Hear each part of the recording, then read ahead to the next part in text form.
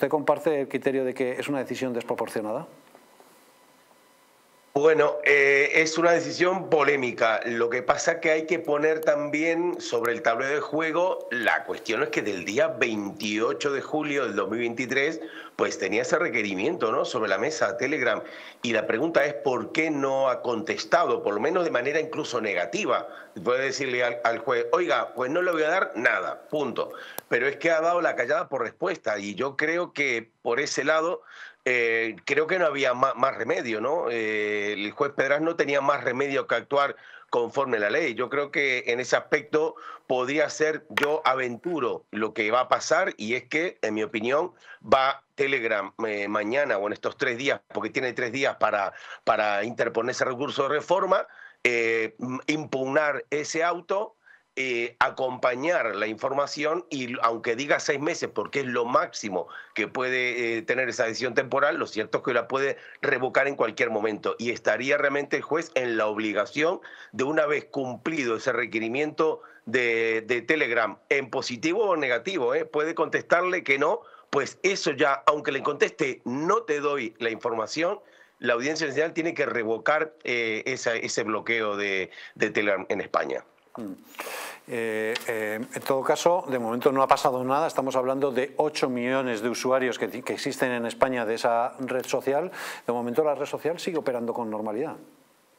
Sí, perfectamente. Además, también a los usuarios, eh, nosotros hemos dado en estos días bastantes pistas con respecto a utilizar VPN y demás. Al usuario, más o menos, que eh, ni siquiera tiene que ser realmente muy hábil en cuestiones informáticas, porque incluso nosotros, los profesionales de ciberseguridad, lo recomendamos en todas las circunstancias, no en esta particular de Telegram, sino que siempre hay que utilizar una VPN que va a esa red privada virtual, que es un servidor intermediario que va a ayudar a anonimizar nuestras conexiones y va a ser nuestra conexión mucho más segura porque se tuneliza, digamos, se encripta punto a punto esa conexión y aunque tengamos nuestra conexión comprometida a través de un ciberataque, el, el atacante nunca va a poder saber, nunca va a poder ver qué es lo que tenemos. Así que, desde luego, creo que incluso puede ser ventajoso el hecho de que pueda empujar o impeler a la gente a instalarse esas VPN como nosotros estamos realmente mm, aconsejando de hace muchísimo tiempo. ¿no?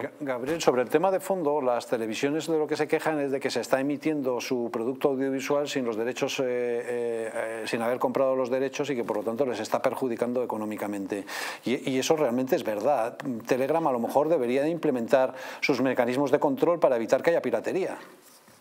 Bueno, esta es la otra cara de la moneda. Yo creo que también aquí eh, esto, este duopolio eh, mediático eh, no ha actuado de buena fe. Yo creo que hay intereses espurios aquí, ¿no?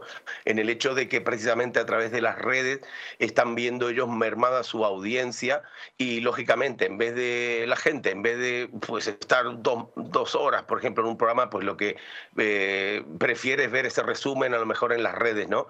Y eso le está sacando mucha audiencia. Tenemos que recordar que solamente YouTube, por ejemplo, tiene el triple de audiencia que todas las televisiones juntas, ¿no?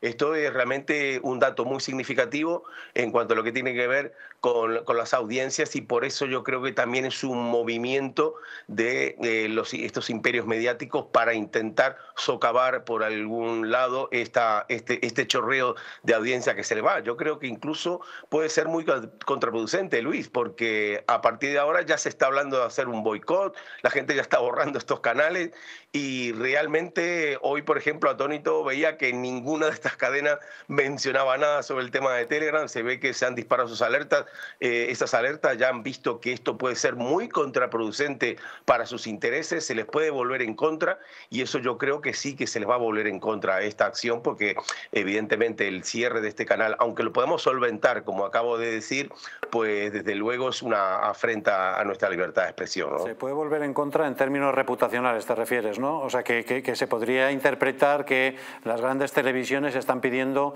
que se censure a los competidores. Exactamente. Bueno, yo estaba, en mediodía estaba muy pendiente del, por ejemplo, del noticiero de Matías Prat y, Mónica Carrillo y no dijeron ni pío sobre este tema, ¿no? Y esto me sorprendió muchísimo que no se dijera porque realmente es trending topic en todas las redes, sobre todo en Twitter, hace tres días sistemáticamente, que es de lo que más se habla del, tema de Telegram, incluso teniendo el tema del atentado de Moscú y más. Ha superado este tema de Telegram eh, las inquietudes de, de los tuiteros en nuestro país, así que es sorprendente que ninguna de las cadenas se haya, haya mencionado. Por tanto, yo creo que se ha disparado esas alertas ¿no? de lo, por lo que se le puede volver en contra esta, esta iniciativa. ¿no? Bueno, vamos a ver qué es lo que pasa en las próximas horas y cuál es la decisión final que tomen tanto eh, Telegram como el propio juez Pedraz. Señor Araujo, gracias. Buenas noches.